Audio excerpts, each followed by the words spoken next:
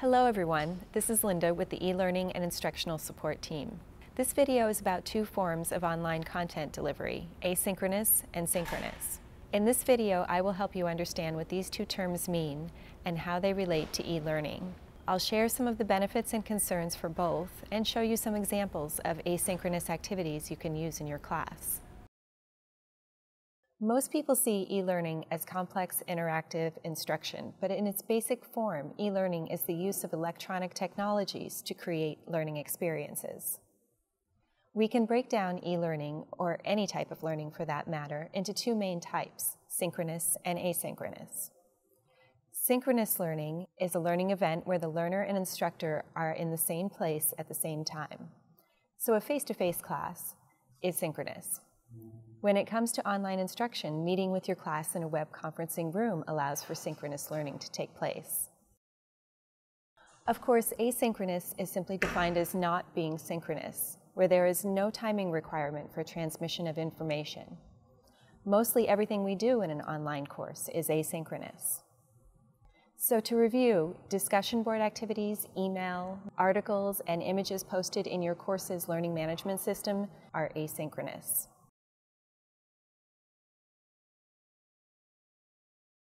One good way to look at your course is having three main categories of activities for your students. Absorb, Do, Connect is a formula for e-learning introduced by William Horton that is very popular today and has proven to be a successful formula for organizing activities in a course, whether face-to-face -face or fully online. According to Horton, absorb activities inform and inspire, Absorb activities provide motivated learners with current information needed to do their jobs or continue their learning. In Absorb activities, learners read information, listen to a lecture, or watch a video. These activities may sound passive, but they can be active components of learning. While Absorb activities provide information, Do activities transform that information into knowledge and skills. In Do activities, learners apply knowledge by drilling and practicing, engaging in hands-on activities such as case studies and guided analysis, and participating in team activities, games, or simulations. Connect activities help learners close the gap between learning and the rest of their lives.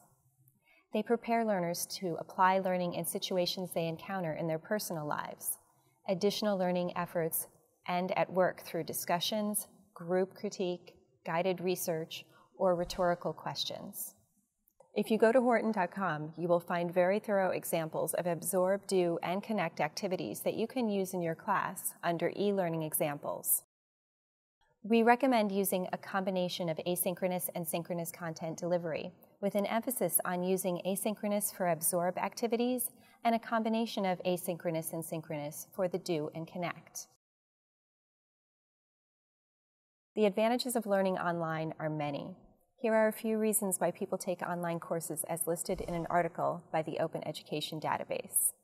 Variety of programs and courses, lower total costs, more comfortable learning environment, convenience and flexibility, more interaction, the ability to continue in profession life responsibilities, career advancement, greater ability to concentrate, improve technical skills, and avoid commuting.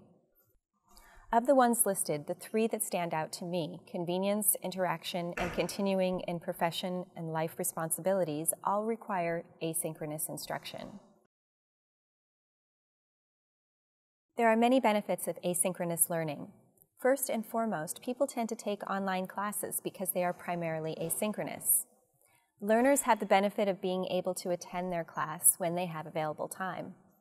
It doesn't matter which time zone a student is in because they have the entire week to complete the tasks put before them. From my experience as an instructional designer and an online student, the most problems I've seen in online courses center around communication. You must have clear instructional design. Communicate your expectations clearly and provide timely feedback, or else students can feel disconnected. Synchronous allows you to interact with your class in real time, which is helpful for group activities, live discussions, student presentations, and case studies. Problems with synchronous are much more difficult to resolve. As an instructor, you can't control that your students will be in different time zones, which makes scheduling a synchronous session that meets everyone's needs difficult. It can also be difficult to plan meetings around holidays, family responsibilities, etc., so that everyone can attend. Accessibility is a huge factor with Synchronous. A person using a screen reader to access a meeting may get into the meeting. However, the materials you are posting cannot be read by that screen reader, causing the blind or visually impaired student to miss out on valuable instruction. So all the benefits of online learning that we discussed, particularly flexibility, convenience, allowing the learner to conduct their life and take classes around it, are removed when asynchronous learning is utilized as primary or only method of instruction. You might be thinking at this point that asynchronous isn't very interactive. Well, I have an example that can prove otherwise. The example is VoiceThread. VoiceThread is an online presentation tool that allows people to discuss media by making comments that combine voice, video, or text, and annotations. People participate whenever and wherever they want. These conversations aren't live, they just feel that way. VoiceThread is already available in your Blackboard course, so be sure to try it out. As you prepare your online course, here are a few things to consider.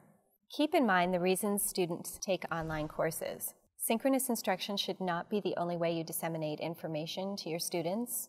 There are many asynchronous tools available for use in your online class through Blackboard.